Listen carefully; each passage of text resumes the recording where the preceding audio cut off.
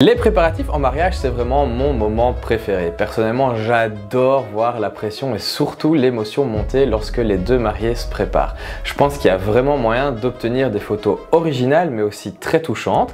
Et je vais t'expliquer dans cette vidéo le matériel, le type de photo à prendre, ce qu'il faut dire aux mariés et j'en passe. Bref, tout de A à Z pour que tu obtiennes des photos de préparatifs intéressantes sur ton prochain mariage. Mais c'est juste après ça.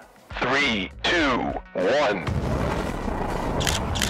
Hello, si tu ne me connais pas, moi c'est Jonathan et sur cette chaîne, on parle de marketing, de techniques, d'inspiration et j'en passe autour de la photo, et plus particulièrement de la photo de mariage.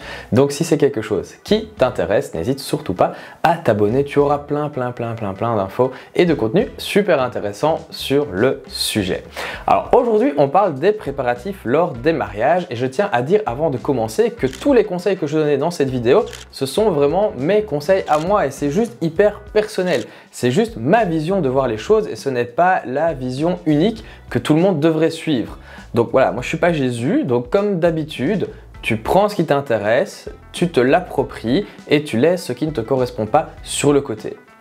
Alors je vais commencer par te donner mes conseils généraux et reste bien jusqu'à la fin de la vidéo car tu verras qu'au final tout a du sens mis ensemble. Mon premier conseil c'est de ne pas photographier directement quand tu arrives.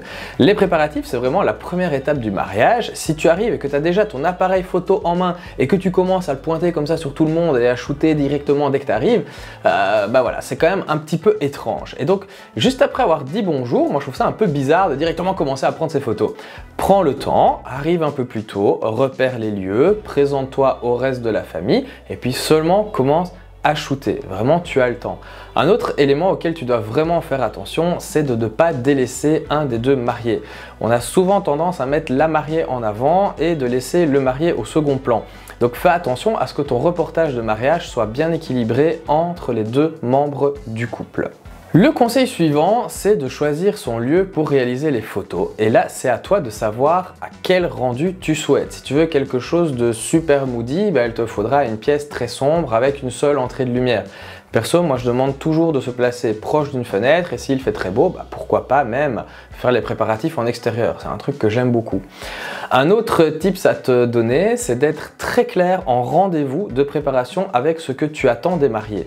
Donc, autrement dit, bien leur expliquer pourquoi il faut se placer comme ça, ce qu'ils doivent préparer en avance. Moi, je donne même, par exemple, un guide aux mariés avec ce qu'il faut et ce qu'ils doivent faire pour obtenir de belles photos de préparatifs. Généralement, ils adorent ce genre de petits guides et j'ai vraiment de très bons retours par rapport à ceci. Tant qu'on parle des mariés, ça me fait une transition parfaite pour t'expliquer tout ce que tu dois dire aux mariés et les choses à inciter. La première chose qui est selon moi essentielle, c'est qu'ils se préparent au même endroit absolument éviter les déplacements. Une nouvelle fois, hein, c'est personnel. Et surtout, pouvoir passer d'un marié à l'autre sans aucun problème. Moi, j'adore quand ils se préparent au domaine où ils se marient ou dans un Airbnb. Un chouette truc à leur donner, c'est aussi un guide avec des lieux de mariage de la région et tous les Airbnb sympas autour de ces domaines-là. Je leur demande également de préparer les détails que je dois photographier. Donc je leur demande de me préparer une petite boîte avec euh, le nœud papillon, les chaussures, le parfum, les boutons de manchette, etc. Comme ça, c'est prêt dès que j'arrive et je peux vraiment commencer par ça. Je demande souvent aussi que les gens présents pour les préparatifs bah, aident à l'habillage. Je trouve que ça donne vraiment de chouettes moments de complicité. Par exemple, bah, la maman qui ferme la robe de sa fille, les témoins qui aident à passer le nœud papillon et surtout en fait les réactions des personnes et les interactions entre les gens présents. C'est pour moi hyper important de capter les connexions, les petits regards, les petits mots échangés, etc.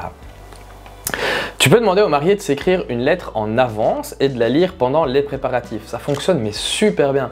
Ça donne des belles photos et là je peux te dire que l'émotion elle est à son comble. Hein. Tu auras la petite larme à l'œil, je te le jure. C'est aussi bien utile de demander au marié s'il souhaite organiser un first look juste après les préparatifs. Et d'ailleurs, si l'organisation d'un first look peut t'intéresser, bah, tu peux retrouver une vidéo qui en parle juste là quelque part. Alors dans tout ça, quels sont les types de photos que l'on peut prendre lors des préparatifs? Bah, Premièrement, moi je plante toujours le décor. Je fais une photo des lieux et quelques photos de textures intéressantes qui ont du sens dans le mariage. Par exemple, s'il pleut et que le mariage est très verdoyant, bah, une petite photo d'une goutte qui tombe, d'une feuille, etc. Je trouve que ça replace vraiment tout dans le contexte.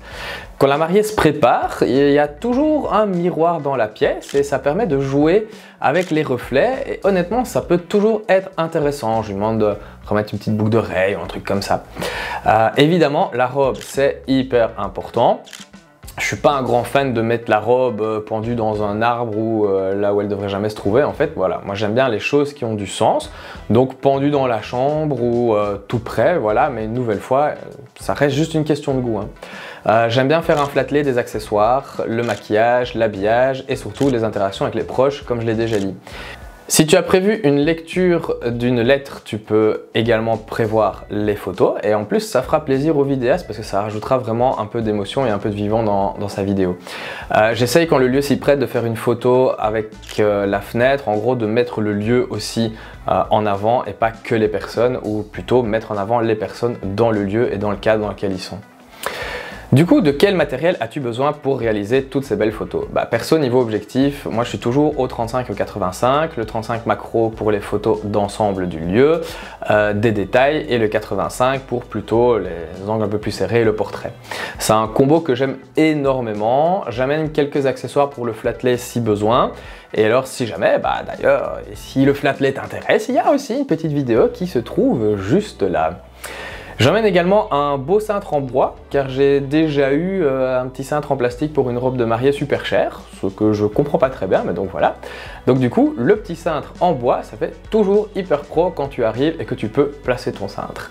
Alors ça arrive rarement, mais bon voilà, on sait jamais. J'aimerais savoir justement dans les commentaires si une vidéo backstage des préparatifs d'un mariage t'intéresse. Donc si tu souhaites en voir plus, ben, n'hésite pas à me le dire. Et si cette vidéo t'a aidé, n'hésite pas à soutenir la chaîne en t'abonnant, en laissant un pouce bleu ou un commentaire car cela m'aide beaucoup pour le référencement. On se retrouve bientôt pour une prochaine vidéo. D'ici là, prends des initiatives, sors de ta zone de confort et n'oublie pas que c'est en faisant qu'on apprend. Salut